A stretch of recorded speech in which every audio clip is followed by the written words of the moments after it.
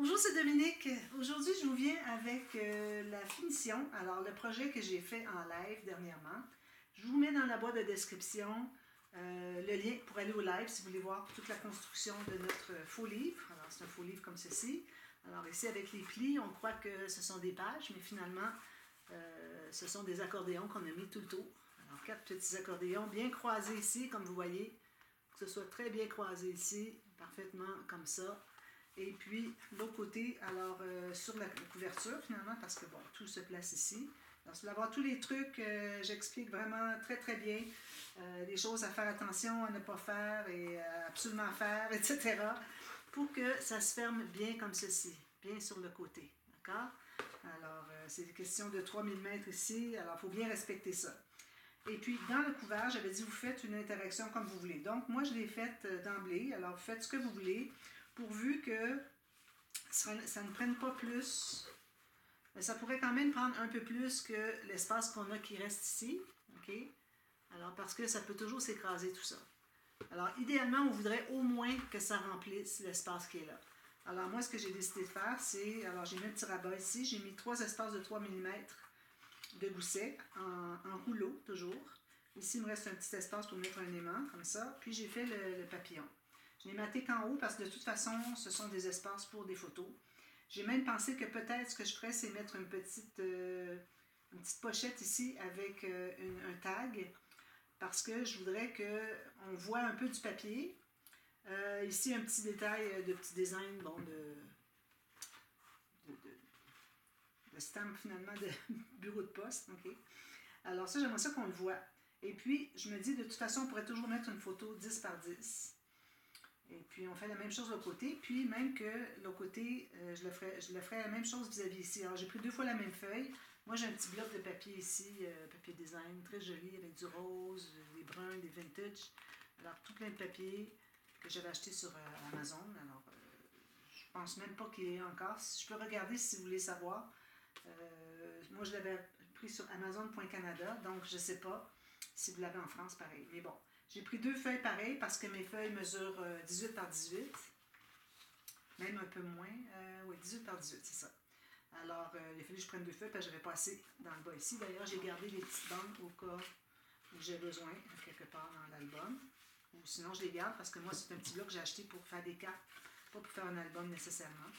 Alors, je garde tout ça, c'est toujours bien utile. Alors, c'est ça, je vais faire une petite bande transverse ici avec la bande de collage derrière et puis biseauter bien les coins. Et puis peut-être un petit gousset de 2 mm, je vais mettre une petite carte à l'intérieur, un petit tag. Alors c'est comme pour faire le journaling finalement pour les photos, les quatre photos qui sont ici.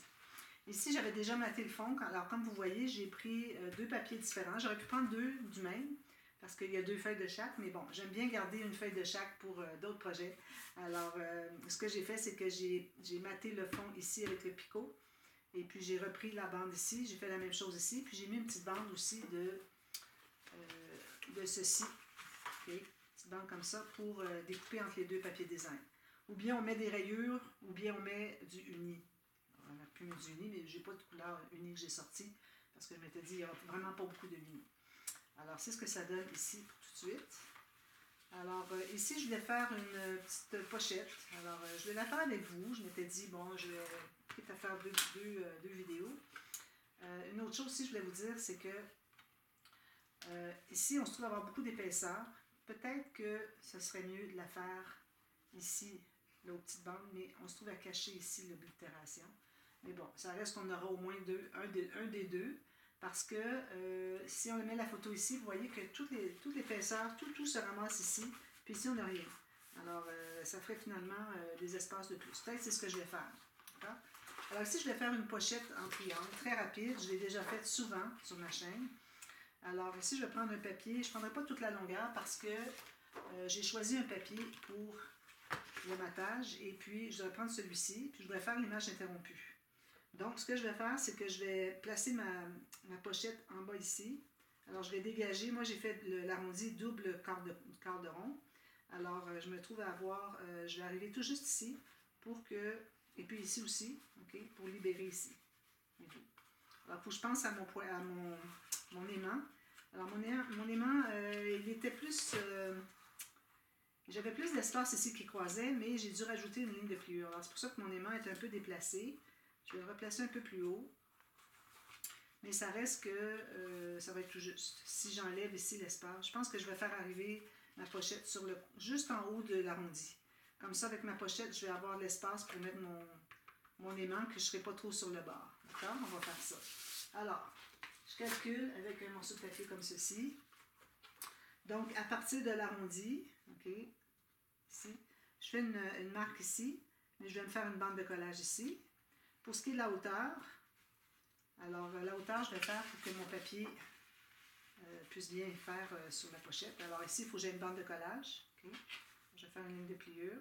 Alors ça, ça va arriver ici, euh, ici tout juste à la fin de l'arrondi. Je ne sais pas si vous voyez bien. Ça. Puis, tout juste à la fin de l'arrondi, où est-ce que c'est droit.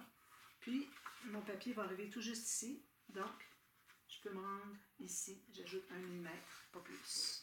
Donc, ça, ça va être mon carré de départ. Alors, la hauteur que j'ai calculée. Puis, la bande de collage en bas. Puis, la largeur que j'ai calculée, plus la bande de collage à gauche. ça donne ceci. Alors, je vais faire mes lignes de pliure des bandes de collage. Euh, je vais prendre ma petite planche. Euh, non, j'ai pas assez là. Ok, on va la Alors, ici. Donc, ici, j'ai une ligne de pliure, comme ceci. Puis, j'en ai une autre ici. Voilà. Alors, maintenant, ce que je vais faire, c'est que je vais couper euh, en angle, OK, à partir de la ligne de pliure ici jusqu'à la ligne de pliure ici, je coupe une diagonale. Quand même qu'on n'a pas un carré, ça fonctionne quand même. même euh, l'avantage, c'est que euh, ça va être facile de, faire une pochette qui, euh, qui, est moins haute en bas, de, sur le côté, parce qu'on se trouve à pas avoir un carré. Alors, je plie tout ça. Je vais enlever le coin, le carré, le rectangle du coin, plus un biseau. Ici, je vais profiter pour... Je pense que je vais faire comme ça? Je pense à mon design, il faut qu'il soit entier sur le côté. Au moins. Je vais le faire dans ce sens-ci. Puis, euh, je vais en enlever un peu. J'enlève à la base, comme ça. Puis, je vais profiter pendant que je suis ici pour faire la ligne de pliure juste sur le côté. On n'en fait pas en bas, pour la deuxième triangle. D'accord? Alors, on va commencer par installer le premier ici. Alors, je bien pressé ici. On met la colle sur les bandes de collage. On n'a rien arrondi parce qu'on se trouve à être sur le bord ici, puis on dégage les deux euh, corps de rond. Si vous avez juste un corps de rond, euh, vous allez dégager automatiquement. Vous allez être un peu plus haut, mais vous allez, allez avec le, format du papier que vous voulez mettre sur le dessus. Vous avez 15 par 15, ben allez-y 15, plus les bandes de collage sur le côté et en bas. Alors, comme à chaque fois que j'ai deux, euh, deux, bandes de collage, je plie toujours celle du côté en premier. Ici, je vais biseauter. Alors, je rends tout juste ici à la fin de l'arrondi ici. Ici, je suis bien droite, bien égale, bien parallèle. Jusqu'en haut ici, parfait.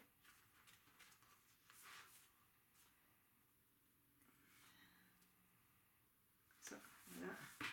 On presse ici et ici j'ai une toute petite euh, bordure qui dépasse, je vais couper un petit peu le coin. Juste pour dire. On voit à peine. Ensuite, le prochain, comme je vous disais, on fait une ligne de, de pliure, une bande de collage seulement sur le côté. On va l'insérer ici.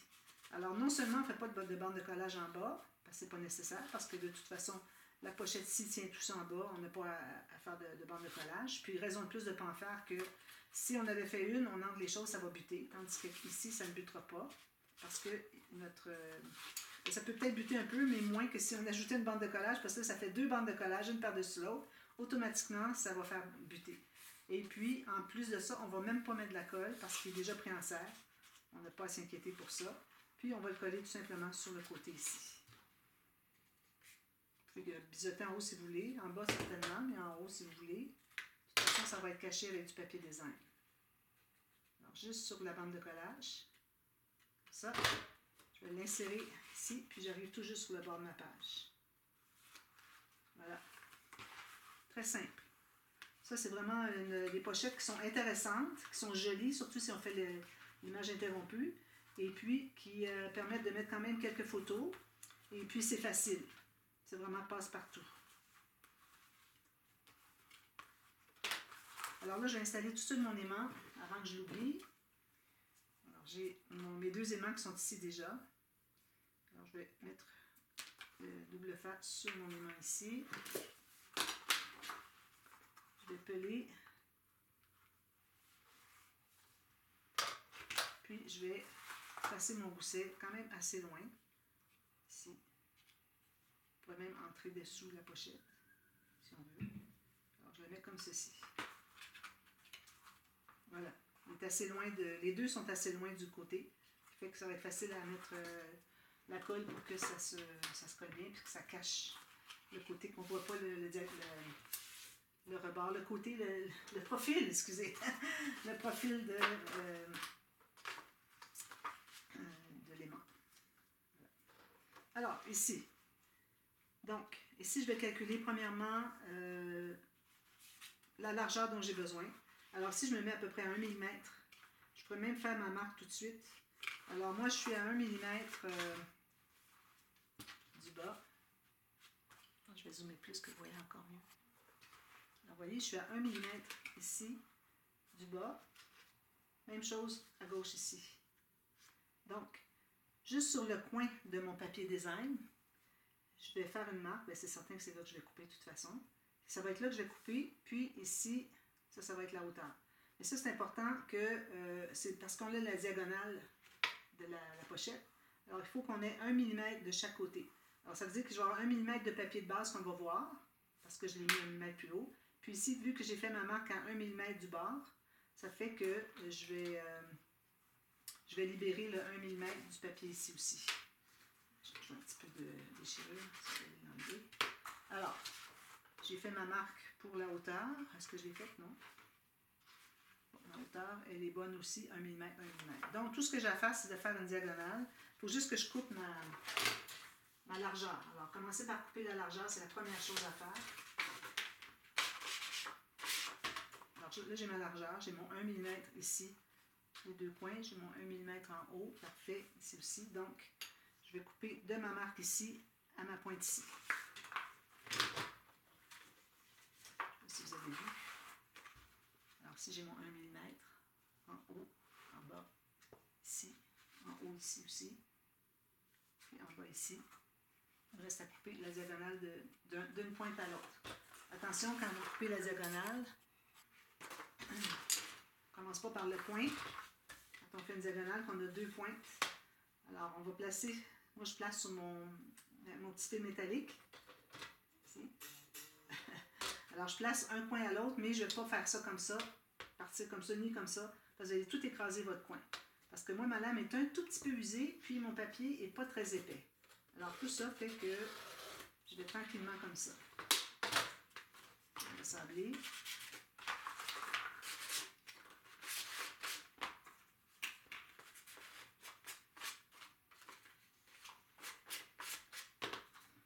moi, je veux tout ancrer ça. À date, j'ai ancré le papier. J'ai oublié celui du centre ici. Au centre, c'est pas trop... Euh, à l'extérieur, il faut le faire aussi. Alors, je vais faire la vidéo pour euh, le, matage, comme je suis en train de faire. Puis ensuite, je ferai une vidéo pour la décoration.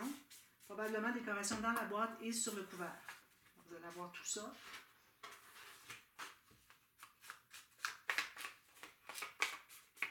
Euh, la même journée. Partie A, partie B, même journée. On entre tous les, contours. On va avoir une autre coupe à faire ici, mais on, va tout ancrer quand même. Ça va être fait. Alors, on commence par, par, coller notre grand morceau qui est ici, parce qu'on va devoir couper. Alors, je suis bien correct comme ça, il n'y a pas de souci, tout est parfait.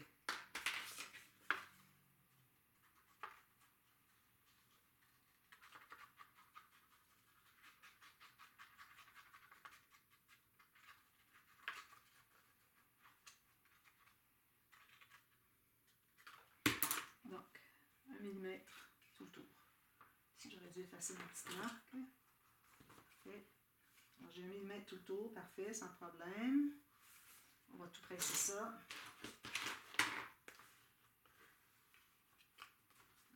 J'ai encore oublié d'apporter mon essuie-tout.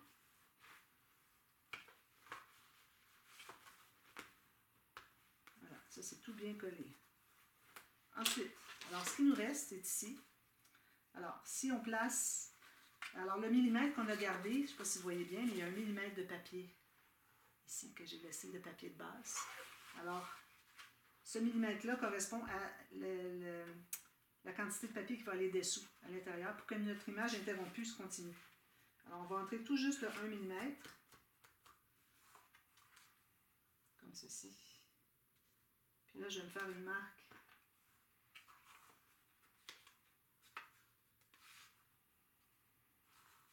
Comme ça.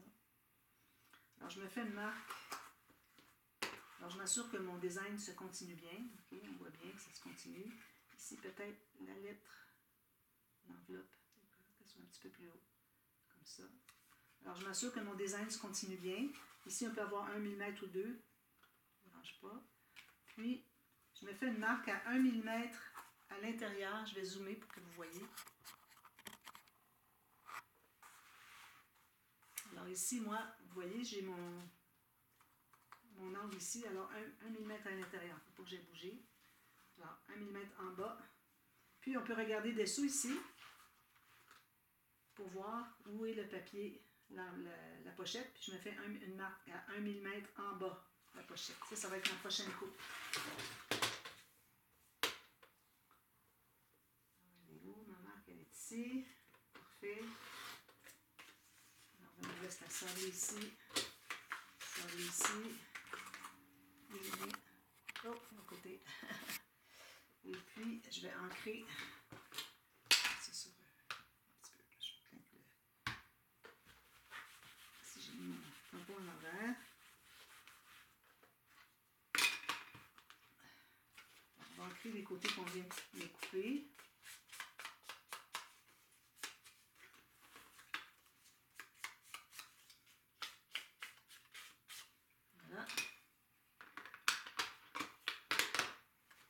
Donc, ici, je vais avoir un papier comme ceci. Tasse un peu, que vous voyez bien. Alors, je mets ma colle derrière.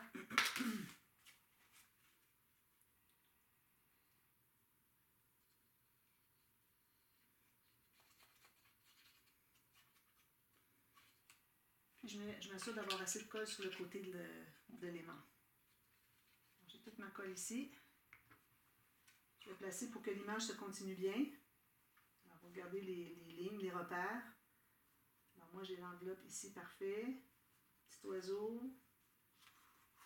Il faut que je sois comme ça.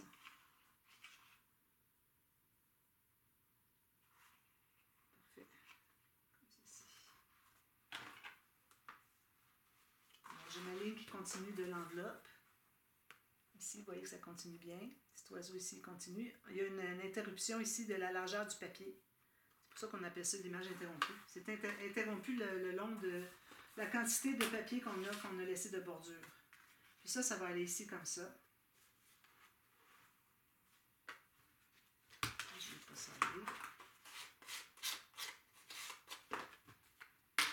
pas derrière? Ici, je vais peut-être biseauter un peu la bande en haut parce que j'arrive tout juste égal. Quand je vais arriver pour mettre un autre papier, on risque de voir la bande de collage. Alors, j'essaie d'en enlever un petit peu.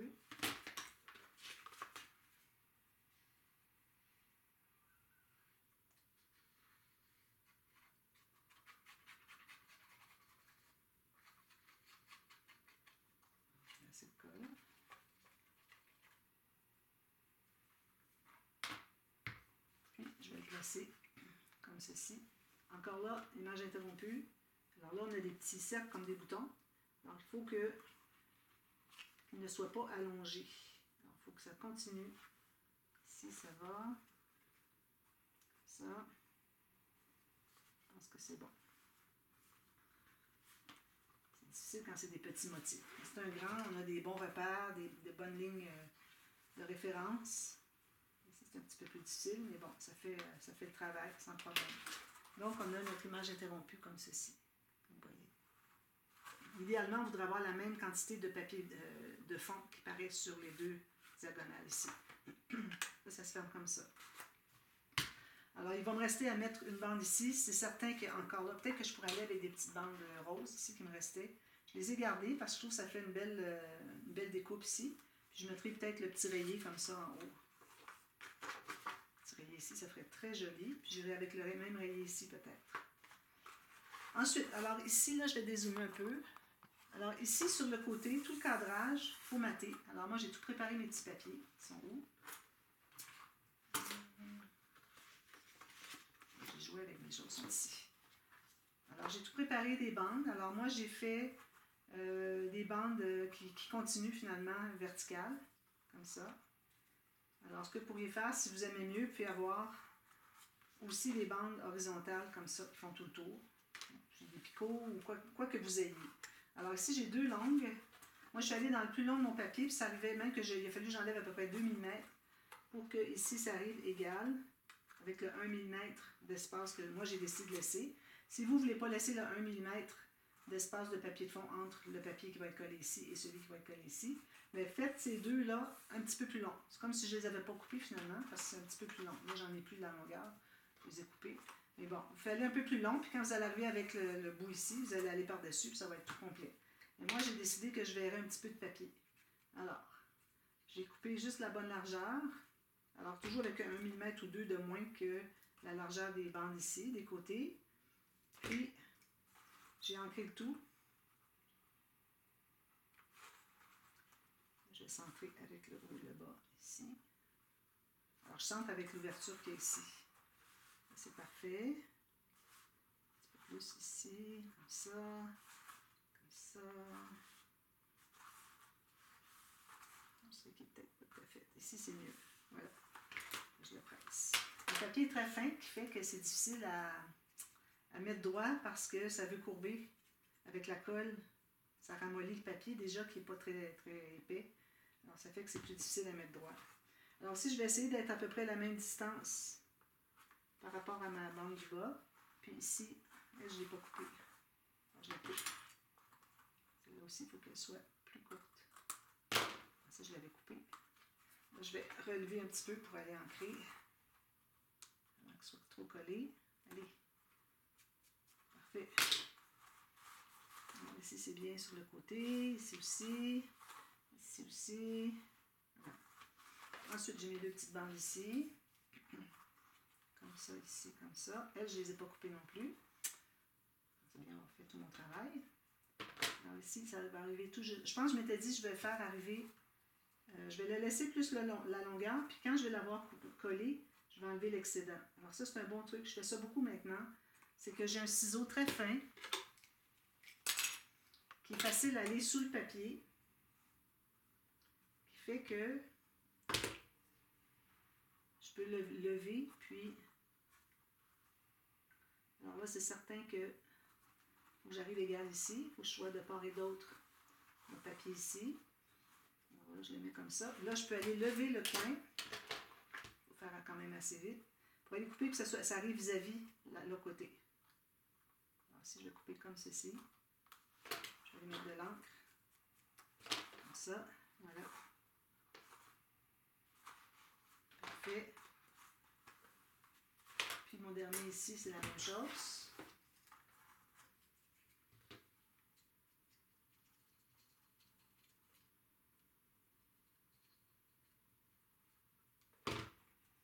Alors, je mets ici. Alors, il faut que ça continue bien vis-à-vis. Puis ensuite, je vais aller couper l'excédent qui arrive vis-à-vis la fin de l'autre bande. Comme ça, on n'a pas s'inquiéter de couper trop court, trop, euh, trop peu avant, avant de, l'installer. On est certain qu'on est correct comme ça. Voilà. Ça, c'est fait. Déjà, c'est assez joli, n'est-ce pas? Ici, il va y avoir des cartes à l'intérieur. Tout ça, je vais terminer ici, ici, ici, à l'intérieur, ici. Puis, l'extérieur, on va se trouver à... Alors, je vais commencer par mettre mon papier ici. Alors, moi, j'ai pris un papier plus grand parce que, voyez, moi, mon bloc de papier, il est trop court pour faire jusqu'en haut. Donc, j'ai pris une feuille... Euh, je trouvais que ça allait quand même assez bien une feuille 30-30. Euh, Et puis, j'ai. Euh, j'ai choisi un papier qui allait bien avec la collection. Là, ben, j'ai assez de longueur. Alors, en haut ici, ici, je laisse à peu près 1 mm de part et d'autre. Même chose pour la hauteur. Fait. ici. Quand on laisse coucher. Toute la colle est d'un côté, puis ensuite le poids est tout d'un sens. D'un sens. Et puis ça fait que euh, n'arrive pas à la mettre debout. alors ici, je mets ma lame, je vais couper ici, bien droit. Les ciseaux. Oh.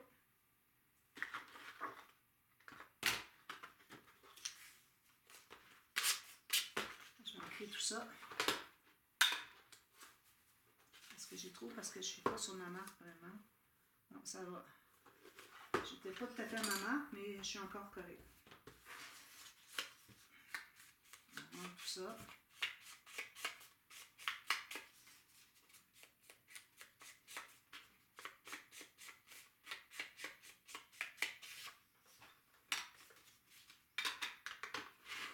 ça, je vais le coller tout de suite. Ensuite, pour le, devant et l'arrière, il ne faut pas oublier de mettre, si vous avez des rubans, moi j'ai des rubans à mettre, il faut les placer avant de mater dessus.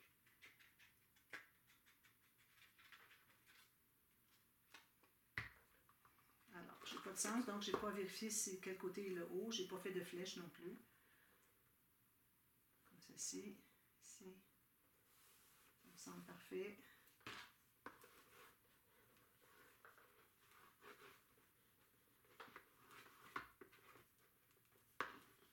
Ça. Alors, pour ce qui est de l'arrière, j'avais de la saleté ici, pour que ça arrive quand euh, une fois j'ai maté.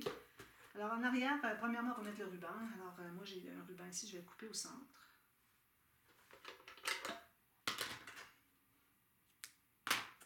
Avec de la colle là-dessus. Je vais trouver le centre ici.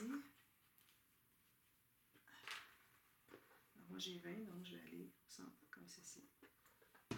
Le premier, on va mettre le deuxième tant qu'à y être. J'étais sur mon, côté de tapis ici, c'est pour ça que j'étais pas dans le. C'est parce que je me servais de mon, tapis pour mesurer, c'est pour ça que j'étais pas dans le champ. Là, c'était fait par exprès, c'était pas par, parce que j'ai pas. Euh... Oups, je vais l'enlever tout de suite avant que ça se brise. Parce que j'ai pas bien j'ai pas bien placé. Alors là, je mets mon autre vis-à-vis.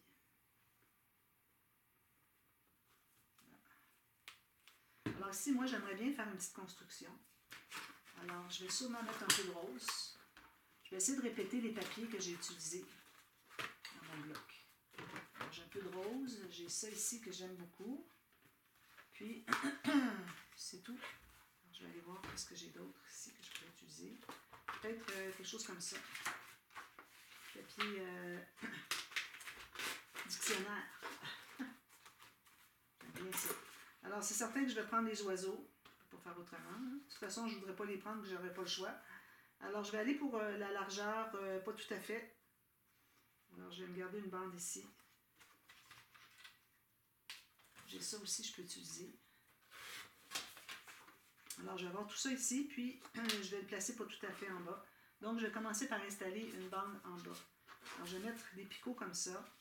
Ce que je vais faire, c'est que je vais couper le long pour avoir tout juste une rangée de picots. Alors, je vais couper pour que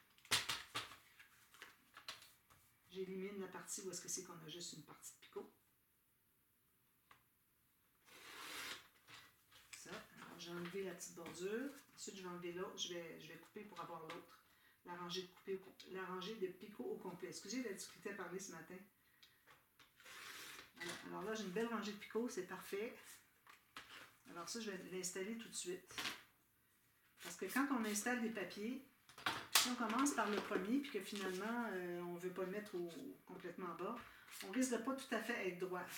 Alors, quand on commence dans le centre comme ça, je me suis fait prendre souvent que c'était pas tout à fait droit. Il manquait un millimètre ou deux d'un côté. C'est beaucoup, ça, un millimètre. Alors, c'est pour ça que je préfère... Euh, euh, je préfère commencer par le, soit le bas, le haut, le côté, comme vous voulez, mais il faut que vous soyez sur un coin.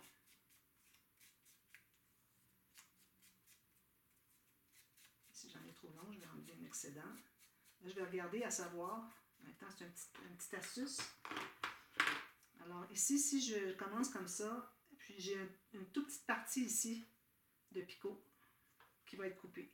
Alors, À moins que je fasse une autre bande comme ça. Je pense que c'est ce que je vais faire finalement. Alors, je pourrais l'arrêter tout simplement ici. Là où est-ce que c'est que mon papier va être installé. L'arrête ici.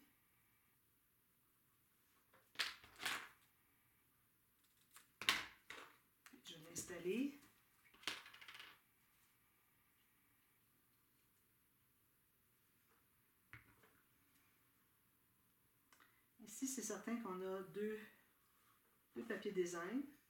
Idéalement, on voudrait avoir un uni entre les deux. Mais euh, moi, je trouve que quand c'est des picots, à la limite, c'est pas trop grave. Je peux toujours aller ajouter une petite bande comme ça. Et ensuite, mettre lui. Il contraste pas du tout. À moins que j'aille chercher un papier plus foncé, comme ça, que j'avais euh, de mon fond, mon fond de, boîte. Alors, je vais faire une petite bande de rien du tout.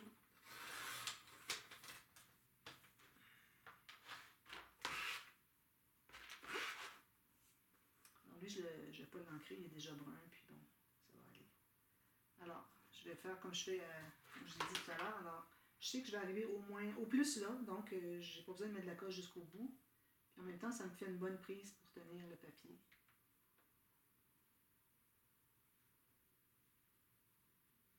Je vais bien passer mon doigt ici. Alors là, je vais le placer ici. Je vais le faire appuyer dessus parce que j'ai un fond ici qui est, euh, blanc, ma cartonnette. Je ne veux pas qu'on la voit. Ça va tout s'appuyer. Là, je vais pouvoir couper la petite bande de trop. Tout juste vis-à-vis de ce que c'est que je veux qu'elle arrête? Parfait. Ensuite, alors lui, je vais l'ancrer. Alors ça, c'est l'arrière. Hein. On va faire le devant sur la, partie B. Puis la décoration à l'intérieur euh, de la boîte.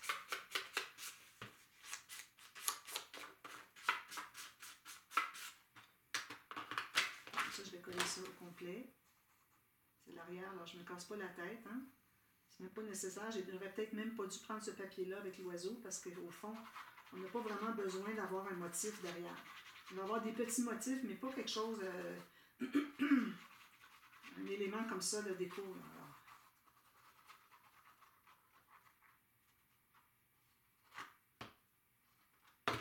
vais le tout juste ici. Je faire appuyer sur mon papier. Je sûr d'avoir la même largeur en haut. Parfait. Je vais tout presser ça. Ici, je ne suis pas encore sur mon ruban, donc je n'ai pas eu besoin de mettre de, colle euh, à tissu, textile. Alors, tout ça, c'est fait. Maintenant, je vais mettre du rose. Alors, je vais probablement le mettre. Euh, j'ai pas assez pour faire jusqu'en haut. Donc, ce que je vais faire, c'est que je vais euh, prendre l'autre feuille. J'ai une autre feuille. Est-ce que ça, c'est pas la même. Est-ce que c'est la même hauteur? Oui. J'ai la même hauteur que ça ici. C'est parfait. Alors ici, je vais le faire arriver, il arrive tout juste de toute façon, c'est la hauteur de mon papier. Ici, je vais mettre un petit coin d'autre chose pour contraster. Donc ici, je vais mesurer pour qu'il reste à peu près 1 mm sur le bord. Sinon, ben, si vous voulez l'avoir tout d'un bout, moi je recommande d'arrêter ici. Si vous aller jusqu'en bas, ça va. Ça va.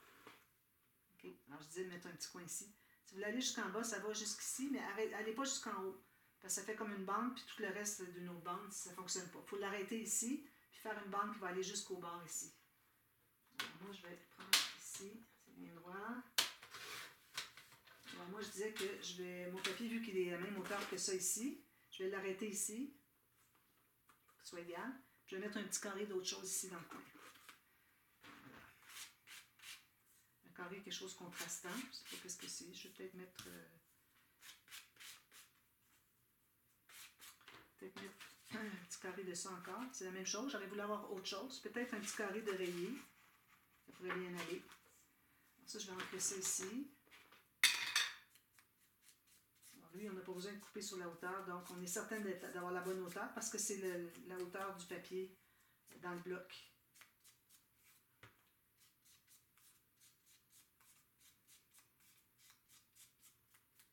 Voilà. Je vais mettre ma colle.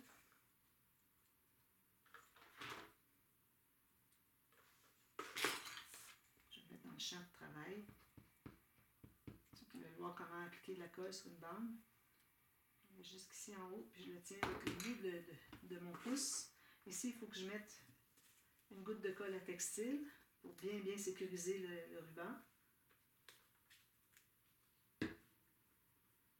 Alors, je commence au, au bas de mon papier du centre, jusqu'en haut ici, puis ça arrive égal, égal, parce que c'est le, bloc qui est comme ça.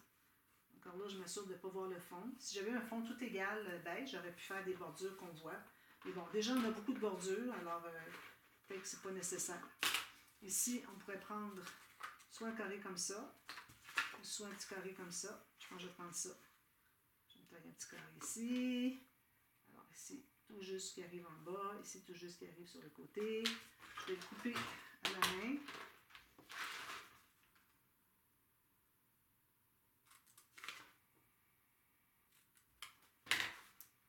Je vais l'ancrer. C'est quelque chose qui n'est pas tout à fait À la main, c'est toujours risqué. Hein? C'est difficile d'être complètement droit des angles de 90 degrés parfaits. Je vais mettre une petite goutte de colle derrière. Je peux y arriver.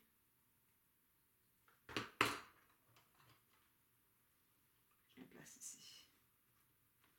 Ça joli. Ça fait un petit coin comme ça. Joli, hein?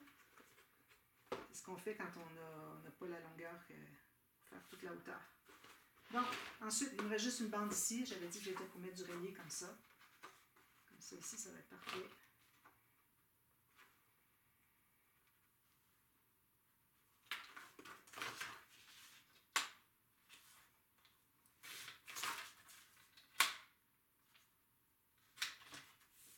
Est-ce que j'ai assez long? Non, voyez-vous. C'est ça, quand on coupe comme ça, là, souvent, on n'a pas assez long.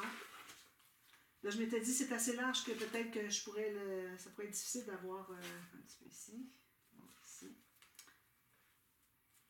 D'avoir. Euh, avec mon ciseau, d'être capable de couper à la main après coup. Finalement, j'aurais dû. Je vais le faire cette fois-ci. Vous allez voir la différence. Ça. Je vais tout sabrer ça sors beaucoup, c'est pas que ma lame est tellement usée, c'est que le papier est tellement euh, mince, mince et euh, spongieux. C'est pour ça que je dis on. Je pensais à spongieux. Euh, c'est pour ça que je passe un petit, faire un petit ponçage. Ici, j'ai pas tout à fait. J'ai un petit peu trop. je le coupe. Je vais juste le, je suis les lignes, alors c'est pas trop difficile.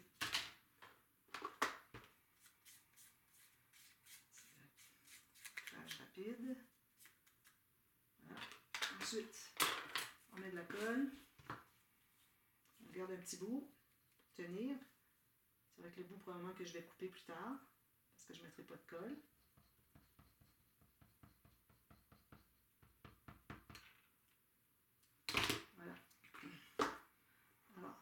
Ici.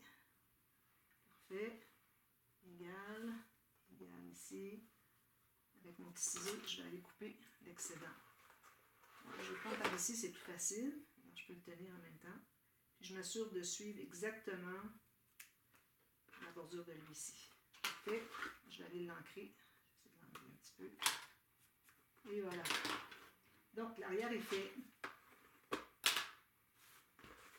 Ça donne ceci. Comme vous voulez, mais moi, c'est ce que ça donne. Alors, moi, je vais vous revenir pour euh, la couverture ici, mais avant, on va faire le... Excusez.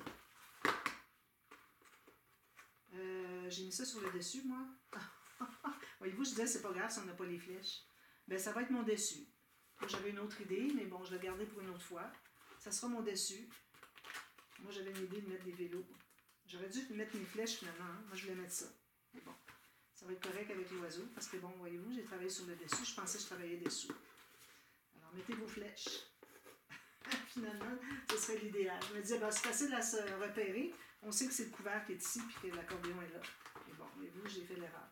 Alors, moi, je vous reviens pour euh, des petites euh, suggestions d'écho ici. Ça, je vais terminer entre-temps. Puis, on va faire euh, finalement la décoration ici. Puis derrière, ben, je vais faire autre chose, quelque chose de plus simple. Et puis, on fait la déco ici. Ça va être parfait.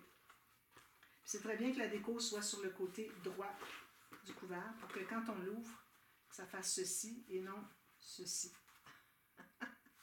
Comprenez ce que je veux dire? Alors, ça va arrêter avec les fleurs qui sont là, les choses qu'on va avoir mises, plutôt que si on les avait mis ici, ça aurait fait ça quand on regarde l'album. Pas l'album, mais la boîte. Alors, idéalement, on verra nos décos ici. C'est une bonne chose, finalement, j'ai fait l'erreur, parce que moi, avec mon vélo, je me trouvais avoir mon vélo à, droite. J'aurais mis des décorations ici, puis ça n'aurait pas fonctionné. De toute façon, les vélos, je vais m'en servir. J'ai deux feuilles de chaque, je m'en servirai pour autre chose. Alors ça, c'est notre, euh, couverture. Je vais sûrement ajouter des perles, des choses, un petit coin métallique. On va l'embellir beaucoup, beaucoup.